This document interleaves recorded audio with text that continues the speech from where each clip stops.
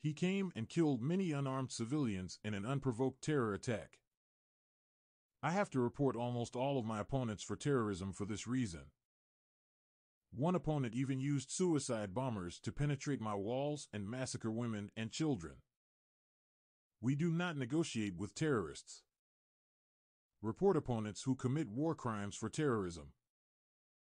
Update I got an account suspension after reporting a ton of people for terrorism. My team is conspiring with the terrorists, confirmed.